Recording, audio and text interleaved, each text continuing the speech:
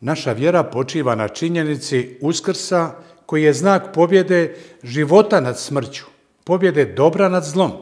Po uskrsu smo spašeni od grijeha i otkupljeni. Zato radosno kličemo Aleluja, uskrsnu kako je rekao. Neka uskrsli Krist podari svoj mir svakome od nas. Neka obnovi radost u našim obiteljima, učvrsti vjeru i nadu svom vjernom narodu. Blagoslovljen i sretan uskrs.